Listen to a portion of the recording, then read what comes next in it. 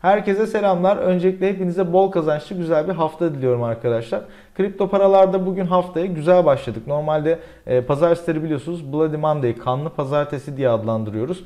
E, genelde hafta sonunun bulaşığı kalıyor. Bir geceleri sabah karşı özellikle sert bir fitiller, düzeltmeler, stop patlatmalar yaşanıp e, ardından hareket devam etmeye başlıyor. Ne zamandır da ben bir video çekmek istiyorum işte kripto paralarda e, genel market değerlendirmesi ne durumda? Nisan ayı için bizi neler bekliyor? E, piyasada ne kadar durmalıyız? Kafamda e, bir şeyleri denkleştirebildim birkaç günlük süre içerisinde. Bayağıdır da marketi izliyorum. E, bu süreçte dediğim gibi çok fazla trade etmeyip daha az trade ama daha alt sağlam analizlerle doğru hareket etmeye çalışıyorum. E, bugün de işte ben size birkaç tane e, not ekledim. İşte beğendiğim, grafiğini beğendiğim ya da haberi olan coinler. Bunları bir not ettim. Size grafikle birlikte genel bir tarama yapacağım. Ardından da Twitter'da bahsettiğim gibi bu hafta en azından bir tane daha iki tane daha video çekmeye çalışacağım. Birincisi stop koyma ile alakalı. İşte stopun mantığı nasıl kullanılmalı, stopta marjinde nasıl hareket edilmeli ve grafikte alım satım yerleri nasıl belirlenebilir, işte nasıl stratejiler yapılabilir. Böyle elimden gelince kolay birkaç içerik hazırlamaya çalışacağım bu hafta yetiştireceğim en azından bir tanesini. Onun da e, haberini vermiş olayım. E, isterseniz analiz bölümümüze geçelim. Marketi bir tarayalım ardından da çok uzatmadan kapatalım. Şimdi öncelikle Bitcoin tarafıyla başlamak istiyorum. Yani şöyle uzaktan baktığımızda gerçekten çok tepede bir grafik var. E, biz şimdi sıfırdan açıyorum ki çizimimizi yapalım. E, şimdi Bitcoin tarafında arkadaşlar ee, şöyle bir trendimiz var bizim aslında. Yani bakın uzun süredir bu trendin üzerinde duruyoruz. Ee, şuradaki silkelemeyi e, saymazsak şuradaki hareketi. Bu bir silkelemedir benim gözümde. Çünkü e, mum kapatmadan e, en azından günlük bir mum altında kapanmadan bu taraf silkelendi. Hacimli bir düşüş olmamış gördüğünüz gibi. Bu trend üzerinde gidiyoruz. Şimdi bu trendin altına inmediğim sürece bir sorun yok gibi gözüküyor. Aynı zamanda da buradan bir düşen trendimiz var. E, bu tarafa baktığımız zaman da Bitcoin bakın e, bu fiyattan destek almış. Burada tutunmuş, burada tutunmuş, burada tutunmuş. Yani şu bölgede güçlü bir alıcı bloğumuz bizi bekliyor. E, 55.500 altına inmediğimiz sürece e, çok bir sorun yok. Oldu da indik aşağı tarafa. Tabii ki her zaman iki yönlü bakmalıyız. Bakın kazanmanın sırrı markete iki yönlü bakmaktadır. Yani e, tek bir yön olacak yükseleceğiz yükseleceğiz diye bakarsak e, sağlıklı olmaz. Biz iki senaryoyu da bilelim. iki olasılıkta da neler yapılması gerektiğini bilelim. Öyle hareket edelim. Çünkü benim trade stratejim bu şekilde. Ben tek yönlü bakmıyorum. Doğrusunda bu olduğunu düşünüyorum.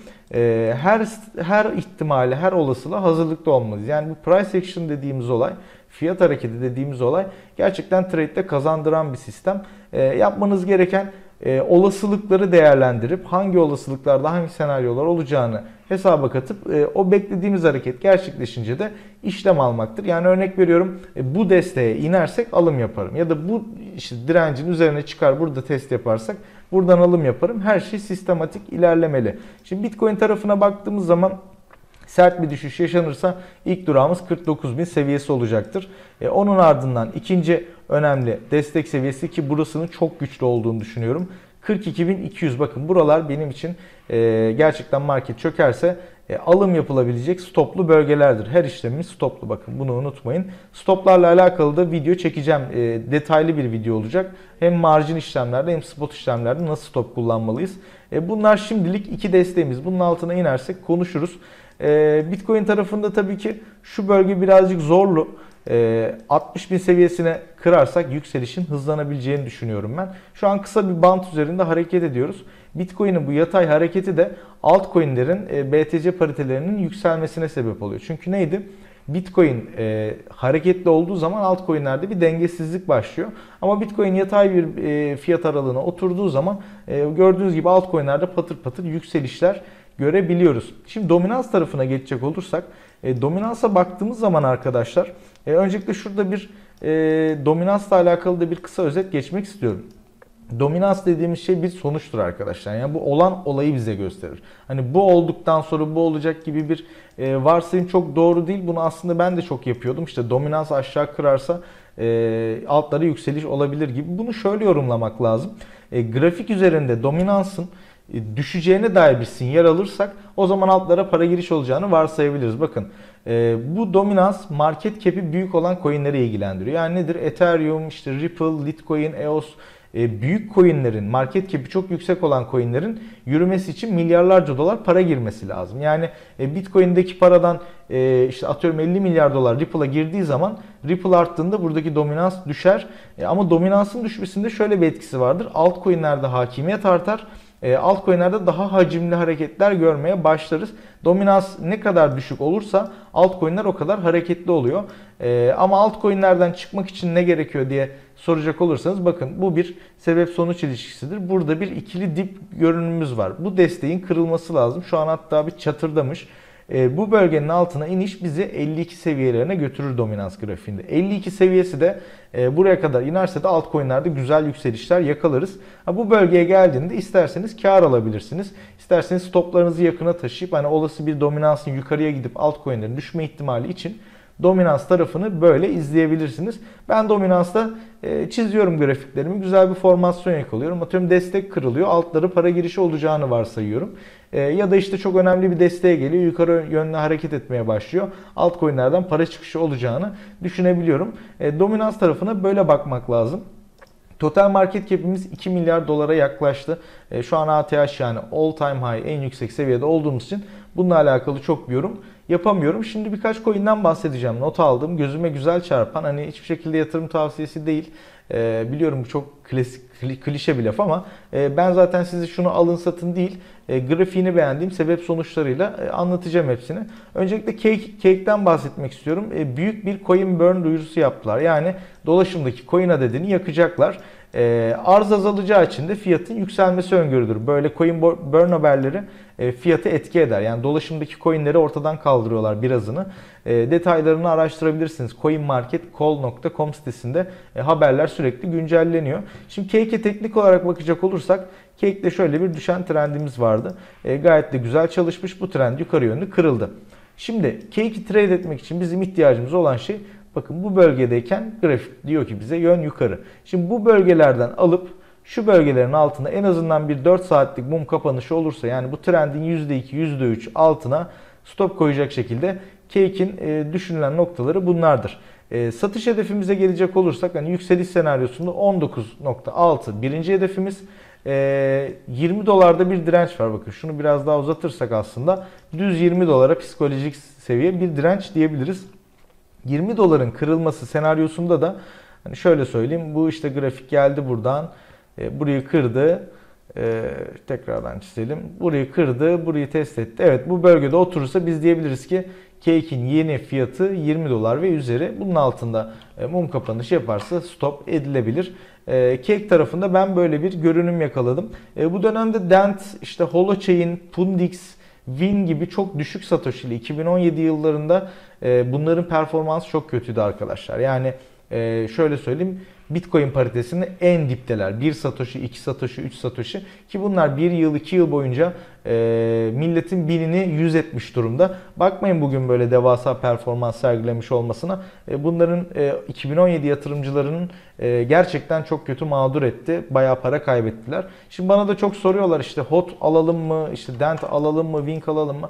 Ya ben diyorum ki karışmıyorum ben size. Bunlar çok anormal gitti. Daha anormalde gidebilirler. O potansiyel var.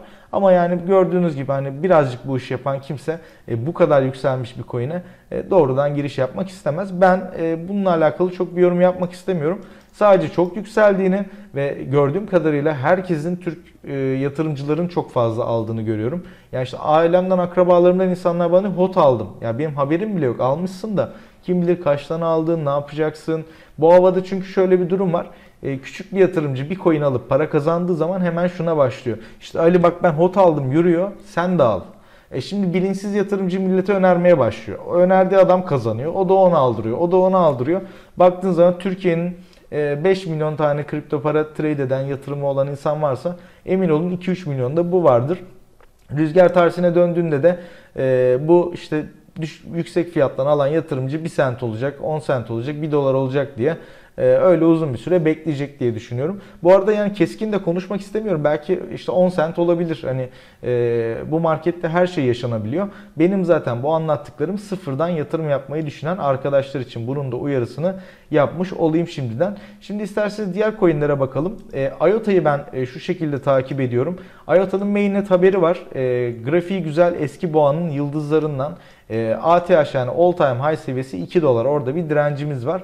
2 doları geçerse biraz daha güzel yükseliş beklenebilir. Ben IOTA'yı kaçırdığımı düşünüyorum. Çünkü burada e, güzel bir yükseliş var. Alım için çok e, yüksek geliyor bana. E, işte beğenen takip etmek isteyen arkadaşlar şu direncin üzerinde mum kapatırsa bakın şöyle bir hareket yaşanırsa yine söylüyorum stoplu değerlendirebilir. E, giden coin'i alırken mutlaka bir direnci kırıp orayı destek yapıp altına stop koymayı ihmal etmeyin. E, çünkü giden coin mutlaka silkeleyebiliyor. İşler tersine döndüğü zaman zararı çok olabiliyor. E, benim için en sağlıklı senaryo bunun buralara gelip tekrardan bu bölgeye gelirse ben buradan alımımı yaparım 1.55 civarından. İşte 1.44'de 1.43'e de stopumu koyarım. E, spot alımlarımı e, onda biri kadar yapıyorum. 10 bin dolarım varsa işte duruma göre 1000-2000 aralığında bir alım yapıyorum. Stoplarım da o mesafede oluyor. O yüzden de böyle %5 %7 stoplar beni çok fazla ürkütmüyor. Bu arada yükselen üçgen görünümümüz de var bunda. E, bu grafik eğer buralarda sıkışma yaparsa bu bölgeler güzel bir alım yeri olabilir IOTA için. Yine beğendiğim coinler arasında geliyor. Şimdi bir e, coinimiz daha var. EJX. E, bunu da Kerim söyledi. E biz ekipçe konuşuyoruz işte her hafta rapor değerlendirmesi yapıyoruz. Haberi olan coinler, potansiyeli olan coinler vesaire. E, EGX'in de e, DeFi platformu yayınlanacak ve Alpha platformu yayınlanacakmış. Coin Market Call'da haber takvimi birazcık kalabalık. Şimdi grafiğine de baktığımız zaman e, işte bu bölge eski tepesine bir test yapmış durumda. E, yani stop birazcık şu mesafede uzak ama e, risk eşiği olan arkadaşlar isterse bu bölgelere gelmesini bekleyebilir. isterse buradan ufak bir alımla bu bölgeye stop koyarak hani şunların da altına olacak şekilde koyarsanız biraz daha e, garanti olur stop. EGX'te e, beğendiğimiz coinler arasında yer alıyor. Şimdi dominansın düşmesinden bahsetmiştik videonun başlarında. Dominans grafiğinin düşmesi demir başlara yani mid cap coinlere paranın kaydığını bize gösteriyor. Mid cap coinler dediğimiz nelerdir? İşte bunlar demir başlar işte. Ethereum, Ethereum Classic, EOS, Litecoin, Ripple, Lumen yani market cap'i yüksek olan coinler mid cap kategorisine giriyor. Yine Bitcoin Cash. Ee, burada çoğuna baktığımız zaman gerçekten güzel grafikler görüyoruz. Ee, Bitcoin Cash tarafında şöyle bir durum var. Şu bölgenin aşılması lazım artık. Ee, şuraları aşabilirsek bakın 620-630 üzerinde e, bir tutunma söz konusu olursa e, yine altı stoplu Bitcoin Cash fena değil.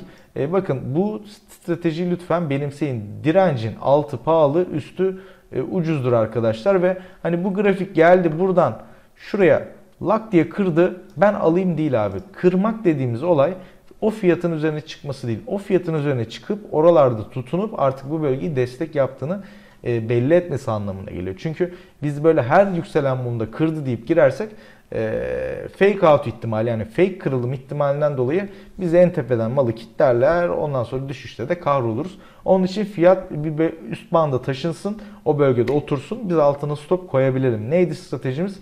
E, arkamı yaslayabileceğim bir stop seviyem varsa her coin'i alırım satarım çok problem değil. EOS tarafına bakacak olursak EOS'ta da şöyle bir görünüm var. EOS'ta belli zorlukları aşmış çünkü yatırımcısını yani ağlattı EOS. E, aylarca bekletti, bekletti. E, şuradaki zorlu direnci artık bakın böyle hacimde de bir artış görüyoruz. E, 5.56 seviyesinin üzerine çıkarak e, kırmış durumda. E, şimdi EOS da bu bölgelere inerse tekrardan e, ben EOS'u değerlendirmeyi düşünüyorum. Atıyorum buradan alırım, e, buraya da stopumu koyarım şeklinde. EOS için e, şu anda güncel desteğimiz burası. Gelelim Ethereum tarafına. Ethereum aldı sazı gidiyor bu aralar. Hacimde de ciddi bir artış var. Ee, şöyle bir düşen trendini kırdı. Güncel desteğimiz Ethereum'da da işte 1850 hatta 1950 dolayları destek gibi gözüküyor. E, Ethereum'da görünüm güzel. Markette bir dengesizlik olmazsa e, bakın bu yükseliş senaryolarını biz konuşuyoruz. Şu anda hala bir boğa devam ediyor. Ama unutmayın pusulamız Bitcoin. Bitcoin sert bir hareket yaptığı zaman aşağı yönlü kırdığı zaman bütün altcoin'lerde salınım görürüz. Bu altcoin'in kendi dinamiğiyle alakalı değil marketin dinamiğiyle alakalı. Ben yükseliş senaryosunda olacakları anlatıyorum. Hani düşüş senaryosu olursa yapacak hiçbir şey yok. Zaten düşüş senaryosu için e, bizi takip eden, doğru şekilde trade eden e, bilinçli her yatırımcı risk yönetimini yapmış, düşüşler için köşede dolar, dolarını bulundurmuş, pozisyonlara doğru yerlerden girip stopunu koymuştur. E, aksi takdirde kaybetmeye mahkumsunuz arkadaşlar. Bu piyasada para kazanmanın yolu sistematik ve stratejik bir trade'den geçiyor. E, Ethereum tarafına baktık. Bir de Litecoin'i konuşalım. Litecoin'i ben e, yalan yok çok beğeniyorum. E, çok da güzel bir beklentim var. 184 şu anda güçlü destek seviyesi.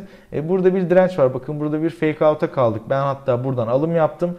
209'dan da stop oldum. Ufak bir kaybım oldu. Litecoin'i tekrardan alıp almamak arasında gidip geliyorum. Portföyüm dolu olduğu için. Ama Litecoin gerçekten en büyük demirbaşların arasında gelir. Bitcoin altınsa Litecoin gümüştür diye de bir söz var hatta. Evet Litecoin'i açtığımız zaman arkadaşlar şöyle zaten çizilmiş hali var. Bakın burada bir Adam Eve formasyonu görüntüsü var. Ee, çok da güzel çalışmış. Bakın burası önemli dirençmiş. Burayı kırmış. Ee, yani bunun şöyle söyleyeyim hatta biraz daha büyükten alalım biz resmi. Ee, Adam formasyonu çalışırsa bakın şu boy kadar gitmesi beklenir. Ee, yani yaklaşık işte şöyle bir arrow'la çizelim. Bu formasyon çalışacak olursa takribi söylüyorum net bir durum yok. 480 dolarlara denk geliyor. Yükseliş senaryosu devam eder ve bu formasyon çalışırsa Litecoin'de 500 dolar grafiğin bize söylediği gidebilecek potansiyel. O yüzden ben Litecoin'i beğeniyorum. Sıkı takibimde en beğendiğim coinler arasında yer alıyor şu anda mid cap'ler arasında. Aynı zamanda grafiğini beğendiğim bir coin daha da Link var. Uzun süredir çok sessizdi biliyorsunuz. Geçen yıl mükemmel bir performansı vardı Link'in. Durduramıyorduk artık yükselişlerini. E şu boğa ortamına girdik. 2 aydır tık yok Link'te. Ama son günlerde ufak bir hareketlik görüyorum. Şuradaki trendi kırdı. Günceldeki ilk desteğimiz bu trend seviyesi. O da nerelere denk geliyor? İşte 28-29 dolar seviyeleri.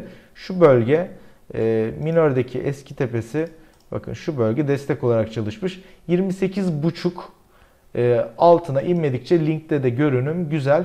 E, bunda da nerelere gidebiliriz diye soracak olursak zaten coin ATH'ın en yüksek seviyesinde. Bu tarz durumlarda ben psikolojik düz rakamlara bakıyorum. 50 dolarlara gelmesi olası olabilir Link'in yükseliş senaryosunda. E, onun dışında Ripple'da güzel bir hareketlilik var. Ripple da güzel gidiyor. E, ama bu bölgeler biraz direnç. Bu bölgeleri aşabilirse Ripple artık 1 dolar yolculuğuna e, gidebilir diye düşünüyorum. E, işte, tabii altcoin'lerin geneline baktığımız zaman işte Zek'tir, e, Ripple'dır, Lumen'dir, demirbaşlarda güzel hareketlilik var. Bunlar da e, gerçekten heyecanlandıran bir durum söz konusu. E, ama tabii ki Bitcoin pair'leri çok dipte. Bunlar çok fazla gidecek diye de bakmamak lazım. Bitcoin'in fiyatı çok arttığı için dolar pariteleri aslında all time high seviyesinde.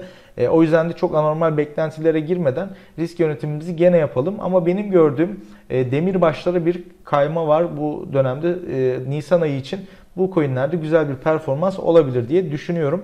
Bazılarını aldım, bazılarını alıyorum, satıyorum. E, portföyümde değişiklikler olabiliyor. Spot portföyüm genelde çok değişmiyor ama e, ben atıyorum işte link aldığımı yazıyorum. E, işte %10 kar ediyor. Ben bunu marjinde işlem yapıyorum atıyorum. E, satıyorum, tekrardan alıyorum ya da yerine başka bir coin koyuyorum. Hani bu değişiklik olabilir. Siz risk yönetiminizi e, kendinize göre ayarlamanızı öneririm. E, bu analiz videosu böyle olsun. Bu hafta içerisinde iki tane de eğitici, faydalı içerik çekeceğim. İzlediğiniz ve vakit ayırdığınız için çok teşekkür ediyorum. Umuyorum bu ay hepimiz böyle bol bol paraların altında kalıp e, güzel bir kapanış yaparız. E, çünkü artık e, Mayıs ayı geliyor. E, Sell May, Go Away diye bir kalıp vardır. 2017'de e, de böyle bir senaryo yaşamıştık. Boğa piyasalarında Mayıs'a doğru artık böyle e, satmak gerekiyor diye düşünüyorum ben. E, ben açıkçası Mayıs ayında bir satıp piyasanın düşmesini bekleyeceğim. Çünkü yaklaşık 7-8 aydır çok güçlü yükselişler gördük markette. Bu yükselişin elbet bir dönüşü, elbet bir bulaşığı olacak. Onun için de Nisan ayını güzel geçirmeye çalışalım. Doğru adımlar atalım. Sermayemizi riskle bırakmayalım. O beklediğimiz o kara kırmızı mum geldiği zaman e, hazırlıklı olalım ki işte pozisyonlar patır patır yakın maliyetlerle stop olsun. Paramız cebimize girsin. Rahat rahat e, marketi izleyelim. Neyse çok konuştum. Kendinize çok dikkat edin. Bir sonraki videoda görüşmek üzere diliyorum.